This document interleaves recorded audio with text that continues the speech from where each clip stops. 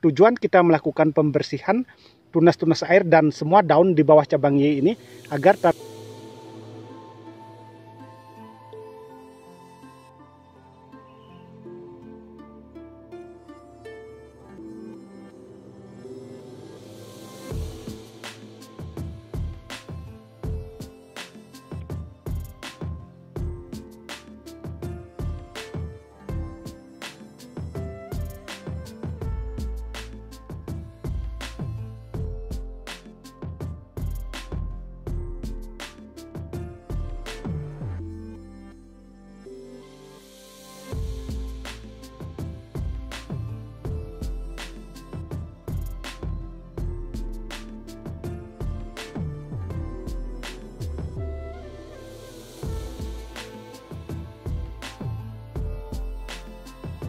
Halo kawan-kawan, kembali lagi dengan saya Ardana PT. Nah pada hari ini kita kembali berada di kebun tanaman cabai. Khususnya pada hari ini kita akan melakukan kegiatan yaitu melakukan penyeperian. Di mana penyeperian ini bertujuan untuk mengendalikan atau mencegah serangan daripada lalat buah. Karena di tempat kita ini masih cuacanya sangat panas luar biasa, sehingga hama yang dominan menyerang adalah tungau dan trip serta tanaman cabai yang sudah memasuki fase generatif di mana bunga dan buahnya sudah mulai bermunculan maka selain daripada tungau dan rip yang menyerang adalah lalat buah. Nah ini harus cepat kita kendalikan. Jika tidak secara cepat dikendalikan maka akan mengakibatkan gagal panen. Nah ibaratnya sedia payung sebelum hujan. Jangan sampai sesudah kena atau sudah ada serangan cukup parah baru kita melakukan pencegahan itu kurang efektif.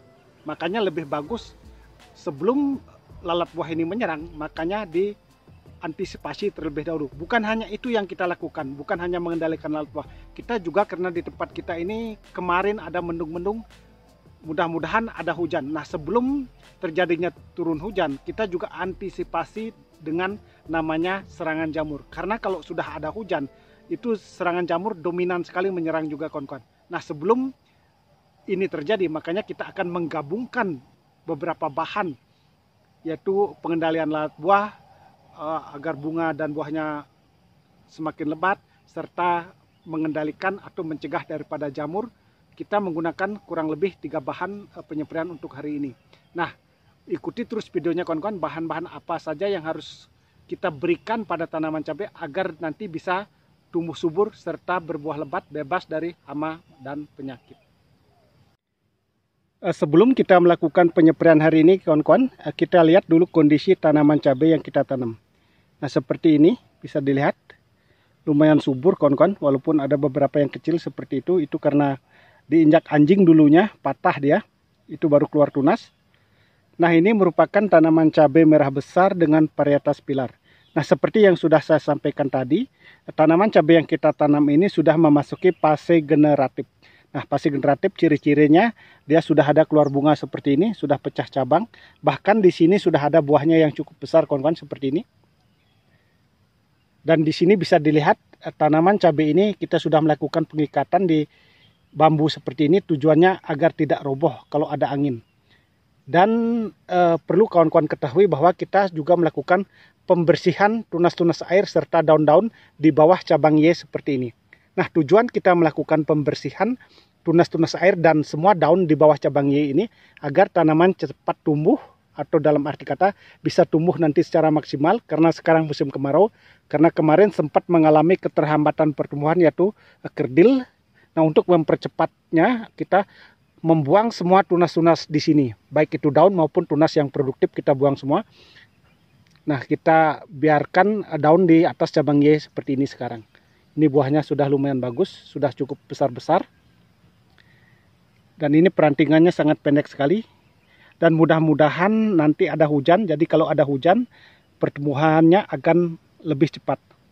Nah untuk mengendalikan keriting daun, kita juga sering sudah sampaikan, kita melakukan penyepirian juga dengan bahan aktif abamectin, seperti kita memakai agrimek dan insektisida rollingan seperti summit dan lain sebagainya kawan-kawan. Nah itu sangat penting sekali sistem rollingan agar hama tidak resisten. Jadi kalau hama tidak resisten kita lebih mudah mengendalikannya.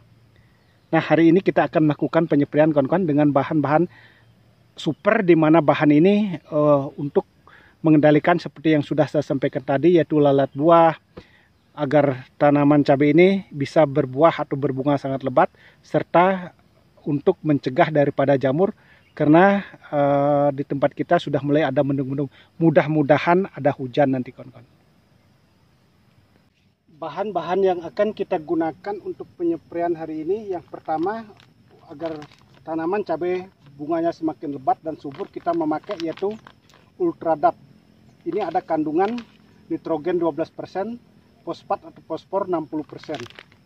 Dan yang kedua, untuk mengendalikan atau pencegahan daripada lalat buah, kita memakai Destan. Ini bahan aktif Demetwat ini kawan-kawan.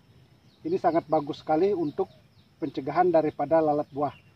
Nah, sistem pengendalian lalat buah bagusnya menggunakan insektisida secara rolling. Bisa memakai bahan aktif Demetwat, di rolling dengan prepenopos ataupun dengan uh, bahan aktif asepat.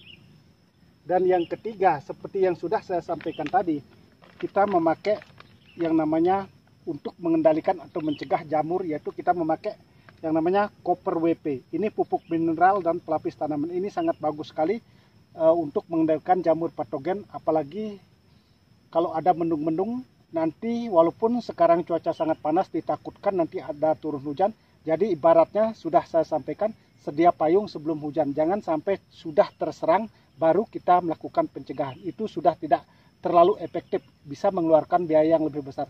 Nah bagusnya sebelum ada serangan lebih baik kita melindungi tanaman itu terlebih dahulu. Nah yang pertama kita masukkan yang namanya yaitu ultradap. Kita memakai hanya dua sendok makan seperti ini. Satu, dua kita aduk biar dia larut dalam air terlebih dahulu jadi pencampuran bahan-bahan untuk penyemprian yang pertama yang harus dilakukan adalah dari butiran kemudian tepung dan yang terakhir adalah cairan. Nah ini kita ultradap adalah butiran. Sedangkan yang kedua kita masukkan yaitu koper WP ini adalah tepung. Kita hanya memakai satu sendok lebih sedikit saja kawan-kawan. Sebagai pencegahan ini satu sendok. Anggaplah satu sendok setengah. Bisa dua sendok tidak jadi masalah. Nah, seperti ini. Kita aduk juga biar merata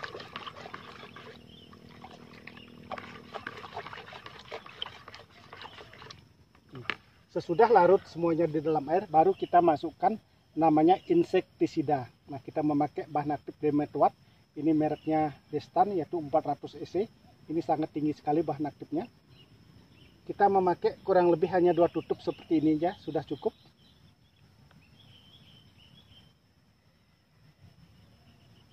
Satu. Ini dua tutup kurang lebih kecil tutupnya ini mungkin ada kurang lebih 15 mili nah, baru kita aduk semuanya sekarang jadi usahakan dia bahan ini semuanya larut di dalam air atau tercampur secara merata Nah, baru kita tuangkan ke dalam tangki semprot. Ini sudah ada airnya, kawan-kawan.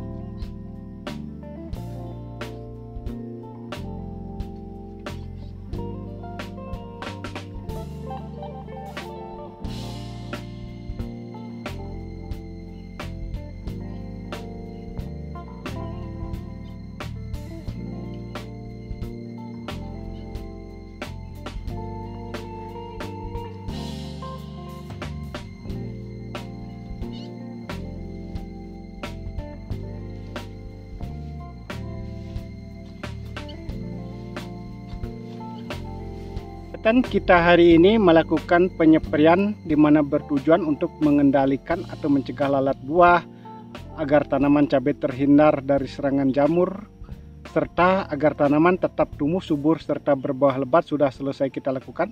Terima kasih kawan-kawan yang sudah ikut menyimak video ini. Semoga ini bisa bermanfaat dan semoga ke depannya kita menjadi sukses sama-sama.